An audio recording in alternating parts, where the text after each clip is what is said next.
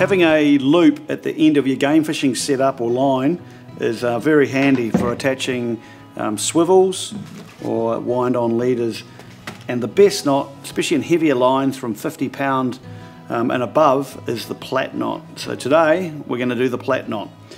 We've got the, uh, our game fishing set up here with 80 pound mono on it and I'm going to stick it in the rod holder so I can get good tension on it. One of the biggest tips for doing a plait knot is being able to hold even pressure on the line while you're doing the plaits. And I find having the rod in the rod holder uh, with the drag right up enables us to um, get nice good even pressure on the line while doing our plaits. So to start off the plait knot, we usually have about a 60 to 70 centimetre tag end. And what we do is we hang on to the main line, uh, good tension, we put the tag end under the main line and then fold it over the top of it. And then pull tight on the, uh, on the main part of the line there.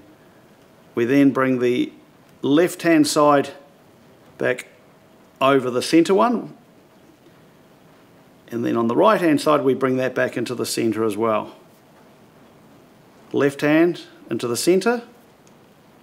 And every time we do that, so in this case we go on the right hand into the center, we pull the center one back up. Left hand into the center, pull the old center back up.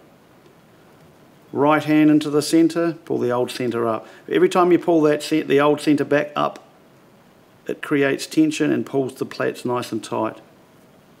So we go the left hand side across the centre, the old centre up. Right hand across the centre, the old centre up. Left hand across the centre, pull the old centre line up. Right hand across the centre, pull the old centre up. Left hand across the centre, pull it up. And we keep doing this so that uh, the plait is roughly about 50 millimetres long. There we go. And always putting nice tension when you're pulling the old centre line back up.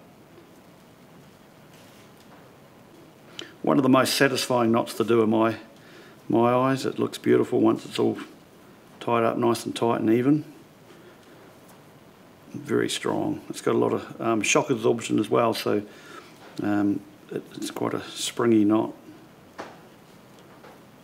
Great on these heavier lines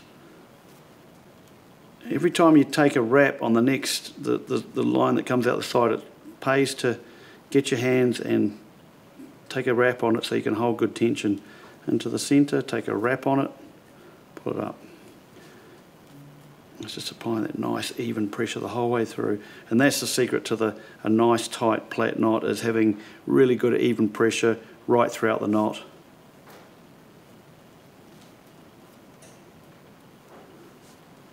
Okay, we've got our plaits pretty good there. Let's get a couple more wraps and what we want is we've got our tag end. Um, we want that to end up in the middle before we start the next step of this knot.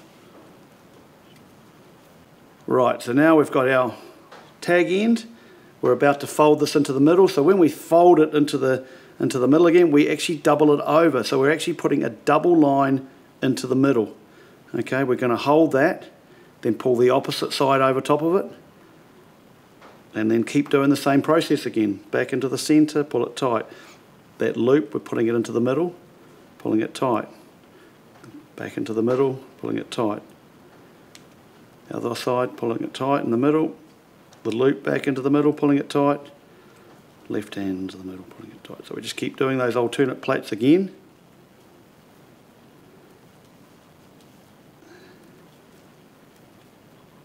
I like to do about 12 plaits and then get that loop, the little loop, back into the center as we have there. And now this is how we finish the knot off. So we've got our double line which has now been plaited over itself through the center. We're going to get the end of our loop, put it through the little loop that we've got in the center, pull it right, everything back through itself. And then we need to get our tag line and we're going to pull that tight which is then going to pull this loop up nice and tight and finish the knot off. I like to, to grip this with my teeth. I find I've got my hands pulling the, uh, the, the, loop, my other hand's holding this knot, knot nice and tight, and I find I have to use my teeth to pull this up so or to get it started.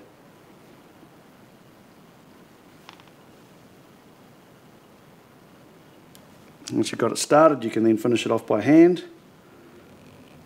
Take a wrap on it, put a lot of tension on it, nice even tension. You can wet it.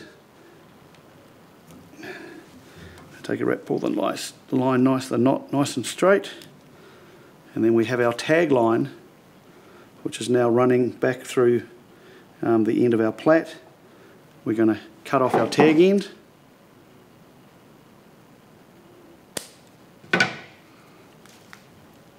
We're going to get a cigarette lighter. We've got our tag in and we're just going to burn that down, being careful not to heat up the main line. So there you go, that's the plait knot. It's a fantastic knot for making a loop in monofilament that's 50 pound or more. Uh, once you've got your loop formed, you can attach a uh, snap swivel or a wind-on leader with a cat's paw knot. If you want to learn more about a cat's paw knot, check out our other videos in this series.